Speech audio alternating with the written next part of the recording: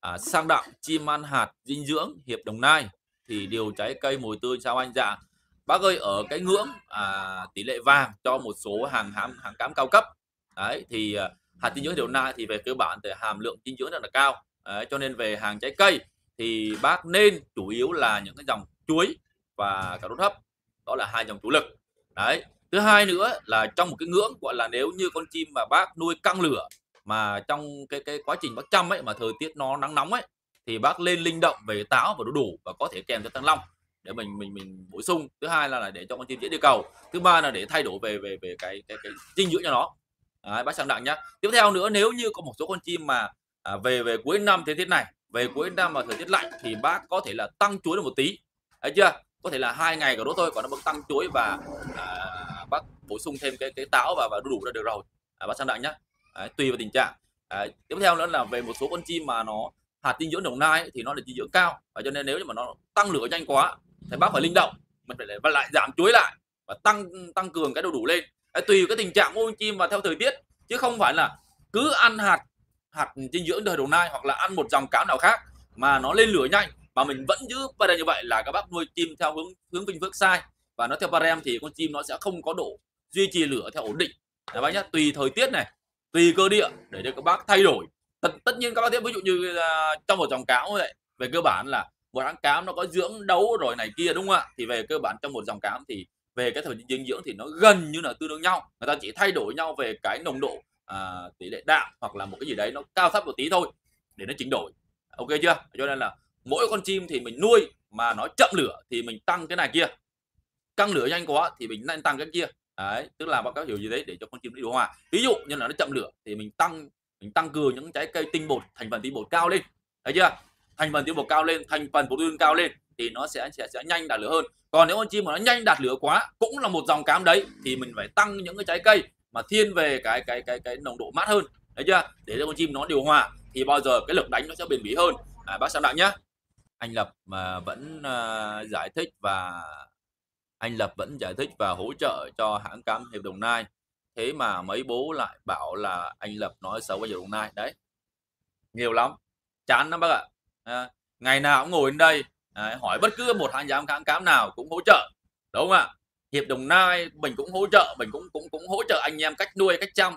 Bộ ba phẫu thuật mình cũng hỗ trợ cách nuôi cách chăm. Bất cứ hãng cám nào mình đã từng trải qua và mình biết thì mình cũng sẽ hỗ trợ. Đây, các bố vào là các bố sân si bắt đầu cắt ghép xong rồi là là đá đèn xong rồi là lại xô đẩy nhau. Nhưng ngày hôm nay thế à, như ngày hôm nay à, bạn Tuấn Linh Lê cũng cũng alo cho mình bảo làm sao bạn lại lại lại lại à, à, lan truyền nói xấu cá mình thế. À, Tuấn Linh Lê cứ để cho mình. Mình cũng bất ngờ luôn. Đấy, hóa ra là các bố ở trên đây này em thật các bác ở trên đây có rất nhiều người Atifan và những người gọi là lựa gió bẻ măng. Thấy chưa? Có ông nào mà xem như đây thì nên nên bỏ cái tính đó đi. Anh em nhé anh em nên bỏ cái tính đi. Đấy, thứ nhất là tính sân si thứ hai là đi soi mói thứ ba nữa ấy, là hay hay hay xô đẩy. Anh chưa? Đấy. vừa rồi là em có kể một cái câu chuyện là em mua con chim sập của một đứa em là đang nuôi cám chòe đấy thì em nói là do em ấy thích quá và đổi qua một cám ông lớn. Đấy, thì nó bị ì lửa và nó không chơi thì em mua về vực lực vực lại thế là các ông ấy lại đi soi và đi cắt cái đoạn đi đấy, gửi cho bạn Tuấn Linh Lê đấy, sau này bảo là sao bạn lại bảo là là là là là là, là, là, là như thế bảo là ăn cám ông lớn của tôi là là là, là bị ì lửa đúng không mình giật mình luôn mình không biết cái chuyện gì luôn rất là bất ngờ đúng không ạ mình nói ở đây là ăn cá một ông lớn và mình đang giữ kẽ cho tất cả các anh em đúng không ạ không nói rõ một cái cái, cái hãng cám nào đúng không thế mà các bố vẫn đi sân si vẫn cắt ghép video do là xô đẩy nhau để cho anh em mất đoàn kết.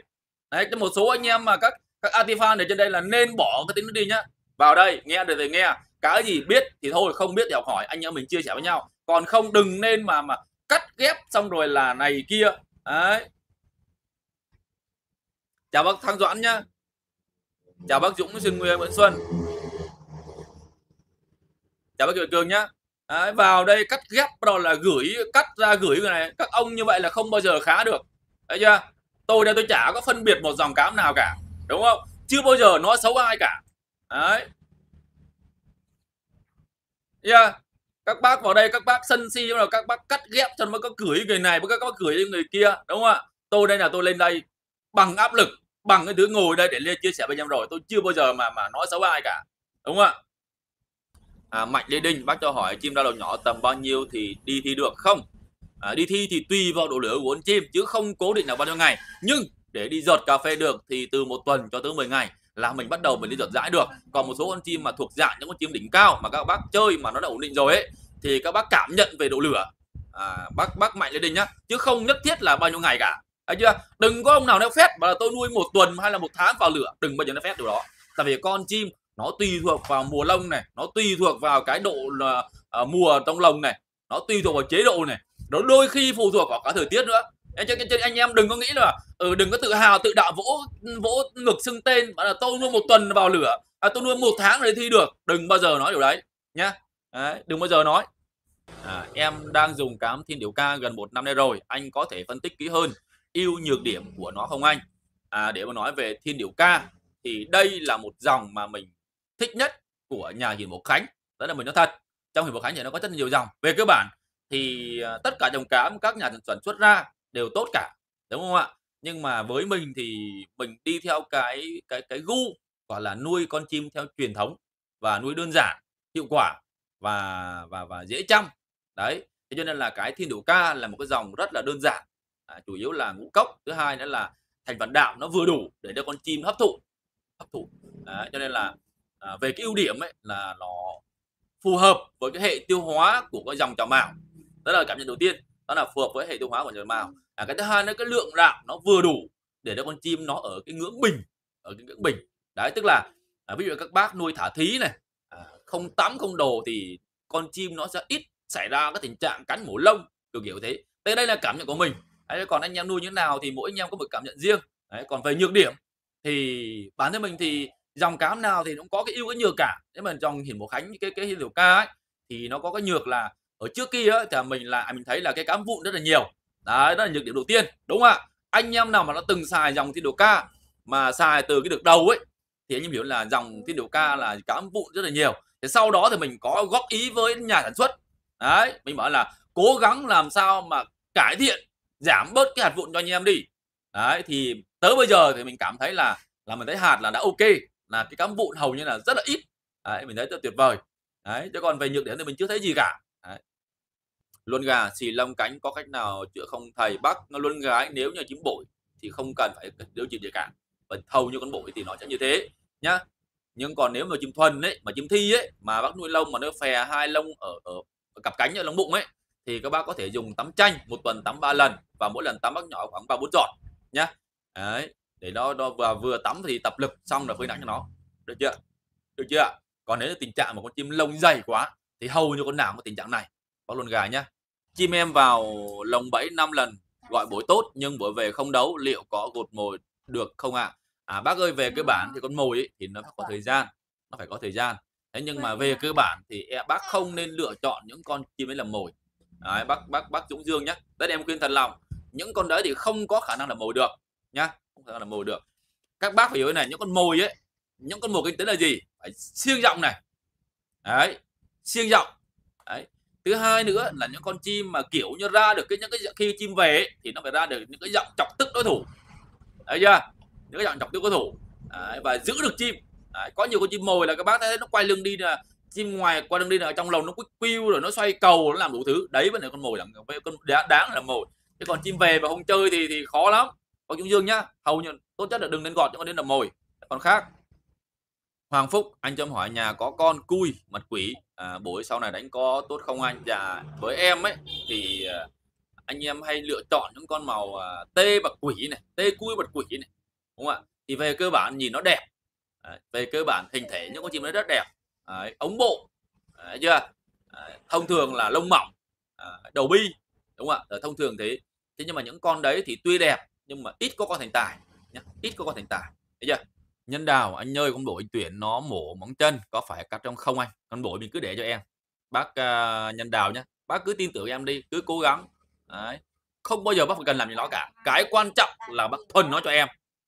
Bác nhân đào nhé đấy, cái quan trọng là em thuần nó. Và những con có biểu hiện này thông thường là những con chim cực kỳ gấu chó đấy. Bác nhân đào nhé bác hãy tin em đi. Thấy chưa? Chắc chắn sẽ có cơ hội mà mà mà mà, mà bác ừ, chém gió được ở trên trận đấu. Em không nói để thi nhá nhưng chắc chắn những cái trận đấu này chắc chắn là những con chim đem lại cho bác những cảm giác thăng hoa. Tối thiểu nhất phải là những ly cà phê ngọt ngào. Bác nhân đào nhá được chưa? Quang Nguyễn Văn chim hay phá đuôi. Chỉ có những con chim phá đuôi đây là những con chim phá vĩ và đại đa số là 100% hoàn toàn là những con chim cực kỳ hung dữ. Đấy, bác Quang Nguyễn Văn nhá cực kỳ hung dữ. Cho nên những con chim này đấy bác phải nuôi những cái lồng rộng. Đấy thứ hai là không được chùm đồng nó. Thứ ba là nên nên tắm hàng ngày. Được chưa? Đấy tại vì những cái ngưỡng mà những con chim phá hình ấy là những con chim giữ để cho nên những một số anh em như tụi em chơi chuyên nghiệp ấy là hay nhốt những cái lồng rộng ví dụ như là lồng 60 80 và khi mà đi chơi em mới sao lồng nhỏ đi thôi đi chơi thôi. Đó, đó là cách nuôi những con chim mà hung dữ mà phá hình. Bác à, Quang Nguyễn Văn nhé Trung Dương em mới mua con mộc được 20 ngày lồng giờ bộ mặt nó toàn rụt cổ đứng một chỗ chả líu gì liệu có nên cột không không có nhiều con mộc ấy là về ấy, thì nó nó nó kiểu nó lạ. Thứ hai nữa là có nhiều con chim là cái nết của nó cho nên là bác phải xem về cái cái chi tiết mà em đã từng truyền lửa chân cánh đầu mà để mình mình căn cứ vào đấy là mình mình gọt chúa chứ còn có nhiều con chim thì nó không biểu hiện gì cả. Đâm ra một số anh em biết những con chim hay mỡ đỡ lỡ đâu có ẩn tướng sao? Thấy chưa? Bán lúa non đi lại lúc lại tiếc. Bác trung dương nhá. Bổ rừng vô cam thì đồ ca ổn không anh? Được bác luôn có thành. Bổ rừng về bác nuôi ít ấy, thì bác nuôi thì đủ ca dưỡng này nam mà nắng dưỡng này đấy, quang nguyễn dưỡng này hoặc nam phở dưỡng đều được cả hàng dưỡng là ok. Đấy, đừng có cho lên mạnh quá đừng cho đến đấu thôi. Bác Lưu thành nhá còn nếu mà anh em nuôi nhiều ấy tại vì bổi ấy là nó khỏe bổi nó khỏe nó nhảy nhiều ăn nhiều. Đấy một số anh em nuôi khoảng chừng ờ, năm bảy mười con nó tốn kém quá thì nên dùng tổng hợp. Đấy thấy chưa? À, Dũng Võ à, hôm bác chỉ trị đau chân với thuốc Alpha choay cực kỳ hiệu quả. Cảm ơn bác các chiến binh mình dùng thảo dược cho rất ok hiện các chiến binh đều chạy vào chung kết cả. Chúc mừng bác Dũng Võ nhé chúc mừng bác. Hôm nay lại gặp được những anh em gọi là rất là quý trọng và báo cáo cái tình hình trong thời gian ờ, những ngày em lan tỏa truyền lửa à, đã đạt thành tích đặc biệt là khắc phục được những cái bệnh tật của các chiến binh. Điều này đó là điều được em rất là là là hoan nghênh và vui mừng. Đấy. Chúc mừng bác Dũng Võ nhé săn với Bình Định anh cho em hỏi em có con chim thay lông xong nó bỏ trái cây có sao không anh? Dạ cái này là rất nguy hiểm nhá. À, tình trạng mà có những con chim này bỏ chuối này thấy chưa? Bỏ chuối này đấy, có con là nó bỏ cam này đấy. tức là trong cái loại trái cây mình cho nó thường xuyên đấy nó bỏ một vài trà loại nó không ăn. Thấy chưa? Điều này đó là chứng tỏ con chim bác bị sự cố về hệ tiêu hóa. Đấy, bác nhá. Nên thả lực nên phơi nắng thấy chưa? Và giảm mùi tươi lại đặc biệt là giảm mùi tươi. Đấy, độ đạm mùi tươi ấy giảm lại nha van chi bị sổ mũi chữa sao vậy anh dạ những con sổ mũi ấy, thì nó là liên quan tới hô hấp thì bắt buộc mình phải dùng thuốc ho thế nhưng mà ở trong cái ngưỡng sổ mũi là một này hòm mãn tính là hai thấy chưa? Có nhiều con bị cái bệnh sổ mũi quẹt cầu ấy là ba là những cái ba cái cái cái bệnh đấy ấy, là tuy là nó bị hô hấp đấy nhưng mà cực kỳ khó điều trị thấy chưa? Cực kỳ khó điều trị trong một cái quá trình mình nuôi. Đấy, cho nên anh em phải cân nhắc và lựa chọn những cái dòng thuốc mà an toàn để hiệu quả để mà anh em sử dụng. Những cái dòng thuốc mà kháng sinh ấy thì anh em nên hạn chế thấy chưa? Nên hạn chế. Quang tư à, chim ở nhà quýt kêu ra dàn không bị thay bộ lông xong ở nhà quýt kêu nhiều ra dàn quýt kêu luôn. À, có cách nào điều trị không? Đây chính thức là con chim bác nuôi nó không chưa căng lửa chưa đã chưa đạt được độ lửa tốt. Bác con tư nhá mà thông thường đó là những con chim hay đấy. Bác con tư nhá con nuôi chưa tốt chưa có lửa căng được chưa? Dạ những con chim chậm cầu nên đánh bốn từ góc lơi và nên đánh sai 36 lồng 36 ấy hoặc lồng lồng vuông hoặc lồng thái được nhưng đánh sai 36 và nên các bác nên độ cái cầu bán kính cầu nó gần lại một tí. Đấy, bác uh, Quảng A Tún nhé được chưa? Nên độ cái cầu lại. Chiến hoàng thầy cho hỏi chim ờ, nhiều cái gì? Chim nhiều mùa, chậm cầu. Cho cách bố trí cầu dạng những con chim nhiều mùa mà chậm cầu ấy, đây là những con chim lớn tuổi thì bác nên đánh lồng size 35 thấy chưa? Size 35 hoặc size 36 thấy chưa? Có những con phải đánh lồng size 3 size 33 size lồng 15 nan đấy. Có nhiều con phải chơi lồng đấy đấy. Bà chiến Hoàng nhé thế nhưng mà bây giờ các bác ờ, tìm cái lồng size 15 là rất là khó, tại vì ờ, phải đặt. Hoặc là những cái lồng cổ xưa rất đẹp thì các bác lại khó tìm nên đánh lồng size 36 là được hoặc size 35 tốt nhất nên lên độ cái cầu 35 ấy nhá được. Còn là bác lồng và size 36 thì bác độ bán kính cầu to lên được chưa? Quyền Nguyễn Văn chào anh Lập nha. À, em hỏi mấy lần rồi tư vấn em với em có vài con mộc dùng hiến một mà mấy tháng nay đi toàn phân nát. Anh tư vấn của em nói rất là nhiều anh em rồi không biết là các bác ờ, xem livestream em là biết là xem cái gì ờ, nghe lắng nghe ở đâu. Những con mộc ấy là các bác không nên dùng những cái dòng uh, dinh dưỡng quá cao. À, ví dụ như hiến một hiến một đó là dòng tốt đấy dòng truyền thống đấy nhưng mà mộc đó lại không phù hợp. Thấy chưa? Một là các bác dùng tổng hợp của hiển thì được cũng được không sao cả. Thấy chưa? Nhưng mà cái cốt yếu là mình những con mộc là mình thuần nó này giữ được cốt của nó này đấy mới là cái đẳng cấp và đấy mới là cái nghệ thuật. Chơi dòng cám đơn giản thôi thấy chưa? Đấy, ví dụ như năm là nắng này. Đấy, hiển thì nên dùng thiên điều ca dưỡng ấy. Đấy, bác quyền yên văn nhá. À, hồng là dưỡng quang nguyễn. À, thấy chưa? Còn ăn cá bộ ba thì mình dùng cái cái bây giờ nó có cám yellow ấy cũng được. Thấy chưa? Cám yellow cũng được. Nó phù hợp với dòng bổi thấy chưa? Chơi bình dân để khi thay lông rồi ấy là nó mới mới mới mới có cái cái độ bật con chim lên. À, mình nuôi đơn giản nó sẽ cái hệ tiêu hóa con chim nó ngoài rừng ấy là nó đang nuôi theo cái, cái kiểu là con chim ăn trái cây nhiều. Thì các bác mà nuôi cái dòng cám năng lượng cao ấy thì nó đã khó. Thấy chưa? Bây giờ nó có rất nhiều cái dòng cám đơn giản để các bác nuôi mộc mà các bác cứ đóng những cái dòng cám gọi là là cao cấp vào làm gì? Thấy chưa? Vĩnh chào mào chim em ăn chế đốt lồng anh chỉ có bộc dạ. Những con ăn chế đốt lồng ấy đây là những con chim bị thiếu khoáng thiếu khoáng nhá. Thì à, những con này tốt nhất ấy, thì bác nên bổ sung khoáng và thời điểm tốt nhất là thời điểm của chim thay lông được chưa? Đấy cái thứ hai nữa ấy, là nếu như mà bác có AV ấy thì bác và thay lông xong rồi ấy mà bác có AV ấy thì bác nên thả con chim AV để cho con chim tiếp đất. Bác Vĩnh chào mào nhá. Để cho con chim tiếp đất thì nó sẽ cải thiện rất là tốt. À, bác với mình nhé